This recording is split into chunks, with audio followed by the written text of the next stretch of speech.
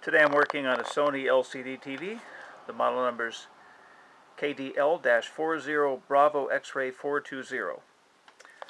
Well, this TV came in here partly dead. I didn't get any kind of display, but the volume worked, and when you held a, hold a flashlight to the LCD display, you could see the picture coming through when you push the menu button.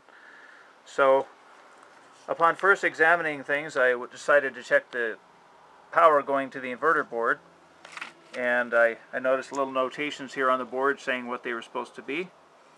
And so I just wrote them all down here, wrote down what they're supposed to be versus what they are. And this is the uh, should be on this side here, and this is what they turned out to be. Now right away you can see something a little suspicious here. The 24 volt line was up to 25.7, and that suggests that there is no voltage drop that you'd expect to see from the inverter board. So for some reason the inverter board didn't seem to be coming on and I checked my BL on signal coming from the main board. It was about 2.9 volts.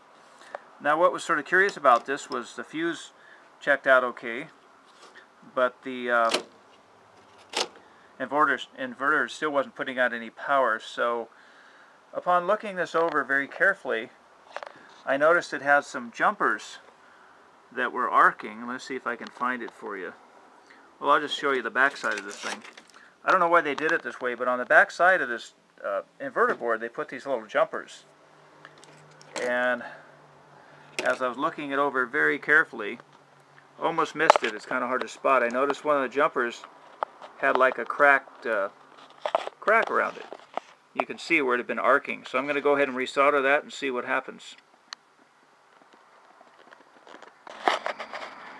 Now before I resolder connections like this, I always like to scrape some of the copper or the uh, paint off the copper traces on the circuit board so more solder will adhere because this is obviously a weak point on this board and I bet if I didn't do this it might likely occur again.